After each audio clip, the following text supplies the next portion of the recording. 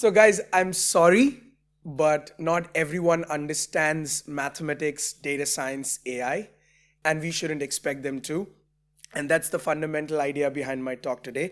So, good, good afternoon. I want to welcome you all to my talk and we're going to be talking about synergizing AI and domain expertise. I'd love to present this talk as a discussion of thoughts and ideas. So feel free to interrupt me at any point of time during my talk if you have any questions, right? I'd also sincerely appreciate the EuroPython organizing community for bringing up such an amazing event because this is my first time at an event like this and I'm really appreciating the, the bonds and networks I'm making this day, right? So, okay. Uh, I would start with the inspiration and the vision that I've I've been having for the last two years, and that's what's written on the on the slide there. To build trust, transparency, and confidence between models and decision makers, right? It's it's a fundamental gap that is existing today between human intelligence, people who are experienced in their domain, who've been doing this for the last 20, 30, 40 years. They know the way around things and they're not comfortable when a machine makes a decision which is not very clear with the problem statement or the environment in which the problem has been sustaining over the period of time. And that's what I like to do. I like to bridge those gaps between human and machine intelligence. I work as an AI scientist for Polymerize. We are a product-based startup based out of Singapore. We've built the next generation AI-powered platform to insanely accelerate material science research and R&D across the globe. Uh, I'm a Pythonista, which we all are. Uh, data science and machine learning to solve data-based uh, problems and enabling data-driven decisions. Uh, previously, I've built a fully powered AI platform right now in production to solve for marketing attribution. For all of you who do not know what attribution is, if I spend some amount in a particular marketing channel, I want to know how much return I got from that channel. That specifically is called marketing attribution. And once I know what my attribution is, I'd really like to plan for the next quarter and optimize my spends to maximize my ROI in the next quarter. So that's what we've achieved. We've got 1.5x ROIs, which is amazing. Uh, over the period of these two years, while experiencing for marketing as well as for material science, I've grown my interest over these following core areas. The, the first one of that is explainable AI because that has helped me a lot in communicating between business decision makers and my team of AI scientists, machine learning engineers, and data scientists right? I've also worked with a lot of tabular neural networks. You can consider material science and marketing. They don't have a lot of images to work with, so not ConvNets or RNNs, but mostly focused on tabular neural networks. And I've developed design thinking strategies, uh, the ability to checkpoint models, and also try to find loopholes in all of your neural networks. I've also done some amount of reinforcement learning, uh, optimization to exploit the learned patterns by the models, and finally to deploy models in production, scalable distributed training and tuning. Cool. Moving on to the next slide. This is my experience and my experiments with truth in the in the domain. So there are a lot of situations which are high stake decisions, right? You want to do your marketing planning for the next six months once you initialize that plan, you're going all in. It's like a poker game. You're going all in and you cannot back off in the middle. And the other problem is, unlike poker, the results are not immediately received. They're going to be received in days, weeks, and sometimes even months.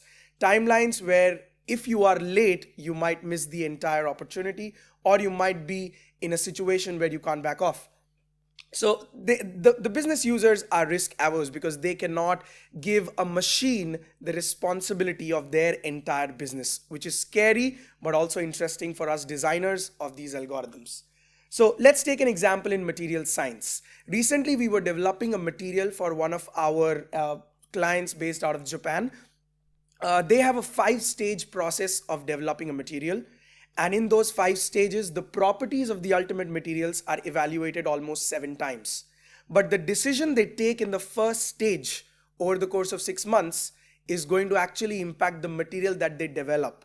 And every individual experiment they do is worth about 50,000 US dollars. So they cannot go wrong with the understanding and analysis of the entire material they're developing. The same example that I gave for marketing works well here as well.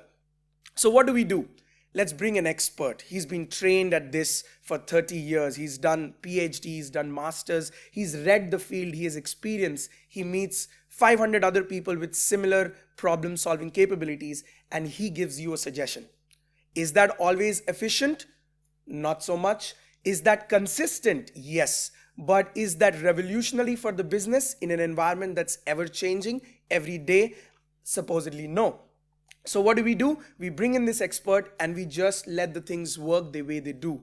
But now we want to make a change. We want to make sure that machines try to combine and acknowledge the learning from the domain experts and then develop things together in synergy so the decisions are not made just by individuals and not just by machines, but a combination of the two. So let's find a way, which is explainable AI. So starting with Simon Sinek's favorite line, let's start with why. Okay. So if you look at the curve here, you can see there's a performance ranking on the y-axis and an explainability ranking on the x-axis. If you look at a model, let's say a linear regression model, it's a super, super explainable model. You know how much each input variable impacts the output. Does it have a positive or a negative impact? So quantitative and qualitative impact. And that's exactly what we need to know from the model. It makes a prediction, but it also tells us how it makes a prediction. But on the other end, there's a neural network, right? And the moment we try to understand a neural network, we're all puzzled because there are so many variables. There are bias, there is weights, there's all kinds of different layers, and we have no clue at each layer how things are being impacted. That's when we need explainable AI. There's also other models in the middle, but trust me, uh, most of these models are pretty difficult to explain. And even if you get close, there might be some variation that you would have never known of, and the entire explanation might just fail. I also use a lot of explainable AI in the last two or three years just to make sure that when I'm tuning models and I got five of my top best models, uh, usually what we do is we create an ensemble. We take the average prediction from all the five models and that is a robust prediction of my uh, output. But when you look at those situations where these five models have a different explanation of them, then you can be pretty sure that a domain expert can filter out and map the really good models from the ones that are just lucky or have been overfit or there's some serious programming flaw in them. Right? Moving to the next slide. Interpretability versus explainability. So on the left, you're going to see a linear regression model and a simple decision tree model. When you look at these models, the parameters and the model summary will really tell you what the model is doing inside. You can look under the hood of these models and you'll be fairly sure about how they're making a prediction. But when you look at the models on the right, the first one is a random forest classifier. It's a combination of multiple decision trees. They're split at different levels. They have different densities, different depths uh, how they reduce from the input to the output. And on the right, you obviously have a neural network, which is way more complicated than we can actually interpret. And you can see the difference that interpretation is where the models can actually explain themselves. The models talk about how they're doing it.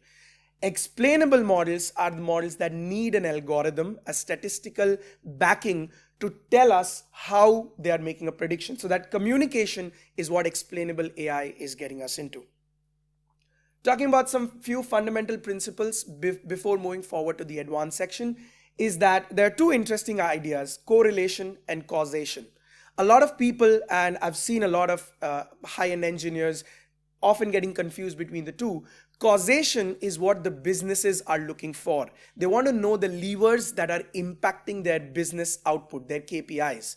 But what we usually see with a lot of models is not causation, something called correlation. You guys would have heard about the statistical method.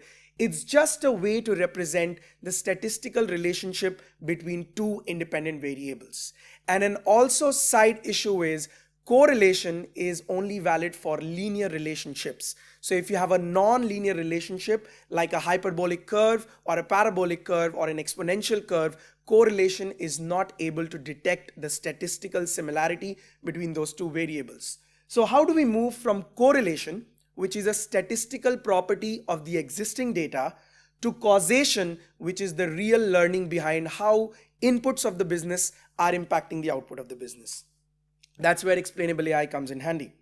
Uh, I'm sorry, I forgot the example. So a lack of RAM would cause the phone to freeze, But when the phone freezes and text messages don't work, those are correlated properties. Text messages might not be working because of, of an app failure or because of any of the other 10 reasons that all of us engineers know about. But whenever a lack of RAM is achieved, a lot of things stop because the lack of RAM has caused them to stop, right? Moving forward. Uh, I'm, I'm happy to take any questions in the middle because I'm discussing and jumping over multiple issues. So if there are any, just let me know. Okay. Coming to the second important fundamental principle and a problem that explainable AI is going to solve is the interconnected effects. Let me give you an example. If you look at the image on the top, there is a chemical reaction that I am trying to get into. If I do it with a catalyst, two different ingredients come. It's a multi-stage process. And if I do it without a catalyst, a different set of chemicals are created. So the addition of that catalyst significantly changes the output of the chemical reaction, right? Now, the addition of the catalyst also has to be in a certain quantity that satisfies the requirement of catalyst. So it's an interconnected effect between the input variables. It's not just one input, it's multiple inputs acting together and in a significant quantity for the ultimate result to take place. That is what we claim as an interconnected effect. When you go to a marketing situation, let's say I advertise on Instagram, on Facebook, on Snapchat, LinkedIn, and multiple places.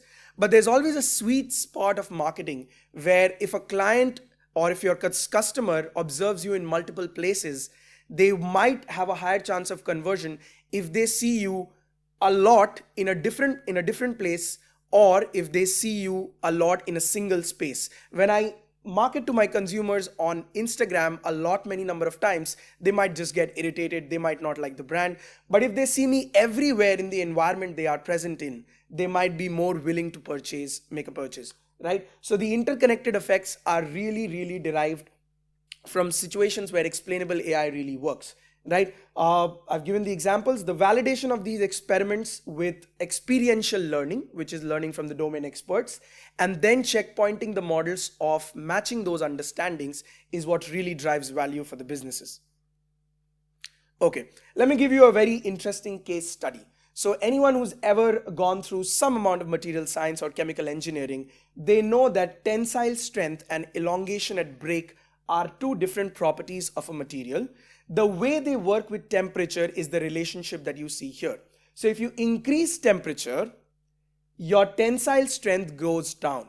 And if you have a lesser temperature while making the material, your elongation at break is low. So what we really want to achieve for great quality materials that we use in cars, in manufacturing units, is a balance of tensile strength and elongation at break. Now, when you look at this chart, it actually is exactly represented by the explainable AI chart that you see below. If you look at this SHAP, an algorithm that we're going to be talking about soon, is an algorithm that gives you just the idea you need from the top curve. And this is what one of our engineers, one of our scientists actually validated where we started pushing explainable AI. Let's look at the chart below, right? So temperature for elongation has a curve which starts with a lot of blue scatter point plots and a lot of red and pink scatterplot points towards the end. If you look at the x-axis, the left-hand side is a negative impact and the right-hand side is a positive impact. And if you also look at the y scale, you will see blue represents low and red represents high. So blue represents low values of temperature, red represents high values. And the impact on the final property, let's say tensile strength or elongation, is on the curve. So if you observe carefully, temperature for elongation, when it has a low value on the blue scale, it has a negative impact on elongation, which is exactly represented on the chart above. And if you look at temperature for tensile strength, the red color, the high value of temperature, gives a negative impact on tensile strength. This is what we are going to talk about. This is what's interesting.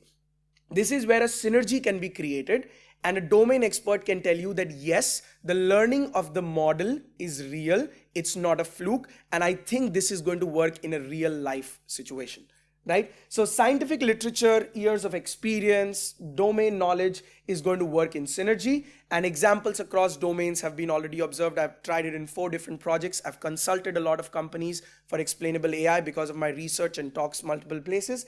And they've really liked an addition, not as a feature, but as an idea, right?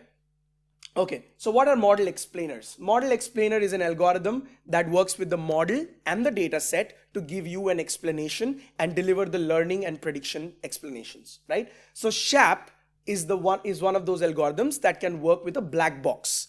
A black box is basically any function. You put an input, you get an output. So the algorithm SHAP works as an explainer to derive learnings from these black box models. Uh, uh, on the below one, you would also see something called as a model specific and model agnostic explainers. These are categories when if you want to work with a specific model, you need a specific explainer. That's called model specific. And model agnostic is where it treats the model as a function and it's going to work as long as you have a function that can do a dot predict, right? Uh, if you look at the chart below, the original image is that of a watch being held by a human hand. And if you look at the right, gradients can only make you reach so much. So you see that white area, that's just showing that this is the part of the image. But if you look at a specific algorithm called integrated gradients, which is curated for deep learning models, you will see that it could actually detect the entire uh, time, the clock in a much better way. So you know which part of the image is impacting your prediction that the image is of a watch, right? Okay. We can start with local explanation. So these explanation algorithms can be of two kinds. They can give you a local explanation. They can give you a global explanation. Local is for each record in the data set, you know every input and how it impacted. So you can see that uh, for the Boston housing data set, LSTAT got us 5.79, RM got us negative minus 2.17, NOx negative minus 0.73, so on and so forth for different ingredients. And you can also see something that which is the FX, which is the final prediction of 24.019. So we start with an average, which is the model's learning that an average housing price starts at, let's say, $24,000. And then every single input in the uh, house's characteristic adds some amount of value. So you know what are uh, what individual variables are adding negatively and which ones of those are adding positively, right?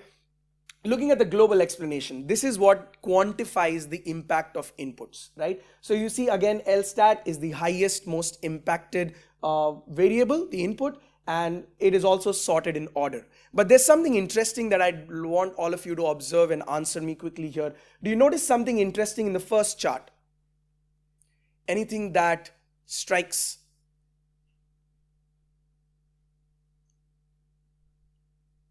Look closely at all the input variables. Do you find something interesting?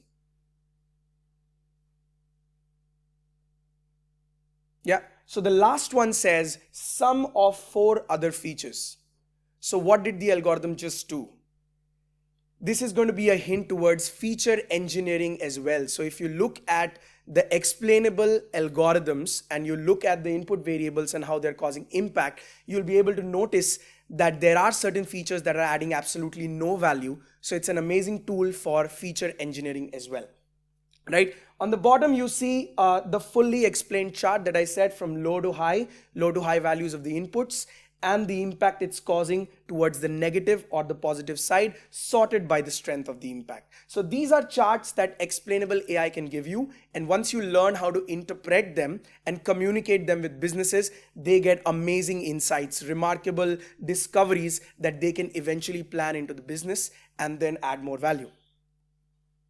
This, this is another interesting chart that I want to take you guys to. This is an interaction and dependence plot. So this is not just the output prediction and its explanation. It's how the two variables, performance and sales, interact with each other. So a smaller value of performance, higher value of sales, or a higher value of uh, performance and smaller value of sales might not achieve the full uh, agreement of the business. You might want to have a balance of performance as well as sales, and that might be the sweet spot. So when you're looking for new candidates, new customers, you want to evaluate their performance and sales from this dependence point of view so it can directly add a lot more value to your business. Okay, coming to the algorithm, a very simplistic standard one. I don't want to go to the most complicated algorithms because that's not the intention of this talk. It's just to get you excited about the future of AI explainability, right? So Shapley, Shapley Additive Explanations, which is the long form of SHAP. It's a game theory based intuitive approach towards explanation. So it is the average marginal contribution of an input feature among all coalitions Coalitions, I would say, is just permutations of all possibilities. So let's say I have three ingredients to my chemical formulation. There's a polymer, there's a capping agent, and there's a diisocyanide. I make all possible permutations where I switch off some ingredients. Uh, I take combinations with respect to out of three, I can take just one, two of them, all three of them in different combinations. And you can imagine it will be a very uh, high number of permutations that I'll have to do. And once you include the argument of quantity of each, quantity of polymer, quantity of capping agent, and quantity of diisocyanide, it's going to blow up the entire space of permutations. But once we have all of these permutations and we pass them through our model so that the model gives predictions, I can find out the average marginal contribution of each input feature to my final output. And because of the average, I will know the impact and because of the individual permutations, I will know local explanations in any one experiment. When I combine all of this, I will be able to look at explanation curves that I have just shown five minutes ago. At Polymerize, we've written a very interesting white paper on this. You can find the link on, on, on the bottom. It's polymerize.io slash white paper. We've written an interesting white paper for all the material scientists, but I think it will also add a lot of value to Pythonistas here. Okay, so I'll just quickly show you guys some code so you know how easy it is and like we all love Python and open source. So I import the necessary libraries. These are all standard machine learning libraries, scikit-learn, datasets, model selection, ensemble, everything else. I get the dataset, I get my X and Y split, the input and the output, and then I do my training and testing split, which is just to look at the real performance of my model, which is out of sample testing. I also build a random forest model.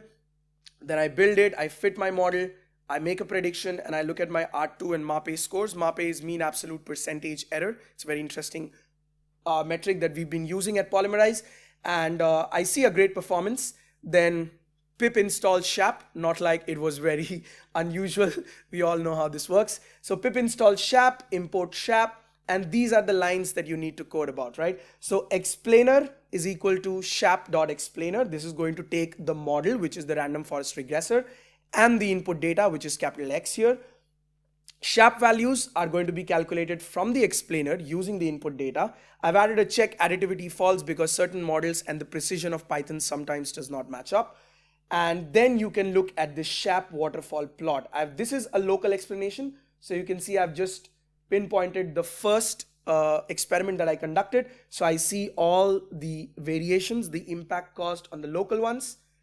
I can also do a beeswarm plot, which is for SHAP values. I can actually filter the data points that I want to do explanations on. So a beeswarm plot gives me the global explanations, the ones that we saw on the slide deck. I can also look at the bar chart, which gives me absolute impact. So it does not have a direction, positive or negative, but it has absolute impact. And also something very interesting is I can convert these and automate them into a domain expertise synergy. So let's say when I talk to my domain experts, they tell me that these things work like these things with all of that. So I can actually create an automated script which post explanation can actually give me the relevance of ideas, right? I'll also like to show you something interesting if I can. If I run everything You'll see the problem with machine learning models with this example. If I run this the first time, let's look at the bar chart in the bottom.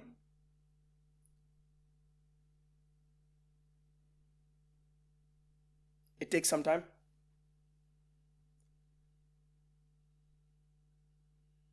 This is actually showing you the number of iterations, the permutations that I had gone through. You look, LSTAT is at the top right for this particular iteration right. Uh second.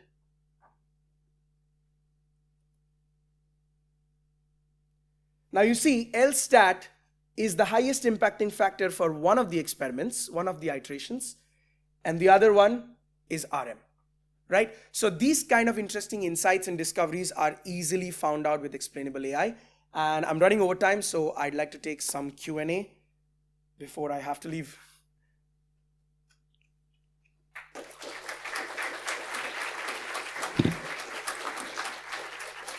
Thank you very much. Um, if you have questions, please come to the microphone um, so that people from home, watching from home, can also understand the question. Um, any questions? Yeah, I was just wondering, random forest will give you feature importance. Did you do a comparison between Yep. the feature importance and the Shapley values? And have you ever had, had a case where the two didn't agree? Yes. So uh, I, I would love to show you that example. If I just add a random variable in the data and I add it uh, and I train it with the random forest regressor, the random forest will actually give me uh, it as the third or second in rank in terms of importance when you do a featured importance. But uh, if and when, when when you know it's random, right? So I did that experiment, and uh, it was actually a part of my talk where I would have I was going to show how feature importance can actually fool us because feature importance is actually driven by the changes, the variance in the input data. It does not actually understand uh, the data set in that in that particular order. So feature importance with random forest regressor, you can just try a random variable in the data and you will see it will give you second or third rank in, in terms of importance. It's not going to work. Thank you. Any other questions? No, then I'd like to thank you. Thank, you. for Thank you so talk. much, everyone.